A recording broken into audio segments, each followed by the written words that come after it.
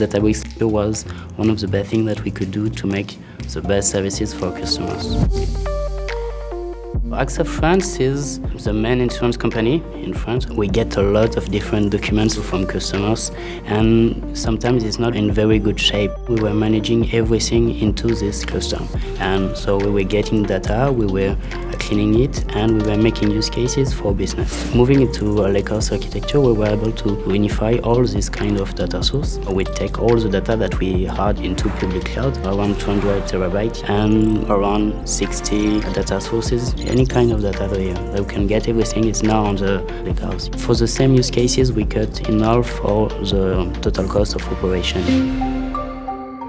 Now, around 800 people using data every day, the Lakehouse or Databricks Workspace to access and analyze the data. For the customer, we need to aggregate every kind of data that we can get. Now we will can get a lot of insight from very different information from the client, from the customers. It's personalized and this is very nice for us and very nice for the customers. With the Lakehouse architecture and Unity catalog, we have now democratized the access to the data for people and they want to take ownership of all their own data.